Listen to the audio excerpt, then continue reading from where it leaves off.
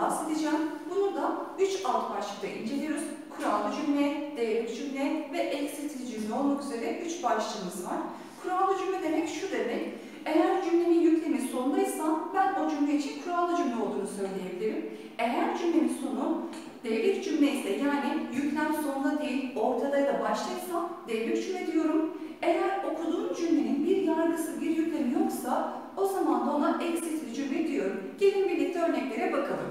İlk örneğimiz şu. Adamın bugün de aramamıştı.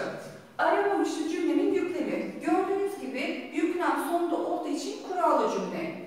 Her gün seni de onu da arayıp sorardı. Sorardı fiilim burada arkadaşlar. Cümlenin yüklemi sonda olduğu için kurallı cümle olduğunu söyleyebiliriz. Geldik ikinci alt başlığımıza devrik cümle. Az önce de söylemiştim. Yüklem sonunda değil, başta ya da ortada herhangi ise devrik cümle olduğunu söylemiştik. Örneklerimize bakalım. Bir tahtamı temizliyorum hemen. Orada görmüştü seni de kardeşim de. Görmüştü yüklem ve gördüğünüz gibi sonunda değil herhangi bir yerde devrik cümledir. Gelemedi. Yüklem en başta da olabilir. Gelemedi bir türlü o aradığın adam. Gördüğünüz gibi yüklemimiz başta, sonda değil yani herhangi bir yerde olduğu için devrik cümle olduğunu söyleyebiliriz.